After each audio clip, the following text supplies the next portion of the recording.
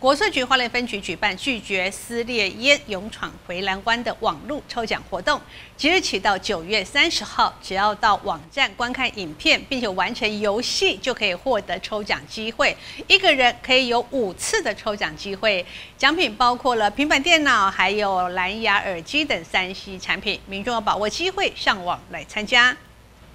国税局花莲分局举办拒绝撕裂烟勇闯回蓝湾的网络抽奖活动，即日起到九月三十号，只要前往网站观赏影片，并且完成游戏，就可以获得抽奖机会。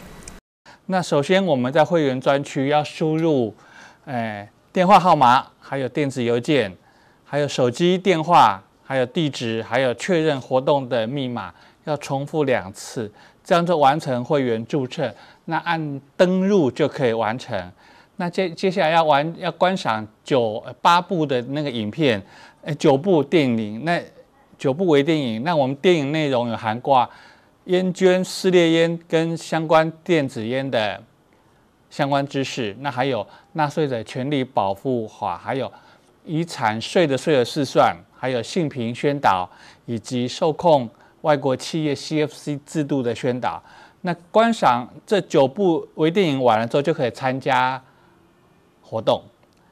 那活动游戏呢，在六十秒内完，哎，达成三百个积分就过关。每天有一次的机会，总共有五次的抽奖机会。奖品的话，它会有那个平板电脑一台，然后还有呃 Apple 的无线呃无线耳耳机也是一一名，那还有三个智慧手环，那还有十个。行动的呃果汁机，然后还有十份的香皂礼盒，总共有二十五名。那这个活动呢，到九月底为止，我们预计会在十月的时候，哎，再正式的抽出二十五名的那个幸运得主。国税局花莲分局表示，一个人可以有五次的抽奖机会，奖品有三星平板电脑和苹果蓝牙耳机等三 C 产品，请民众可以把握机会上网来参加。记者会欢迎市报道。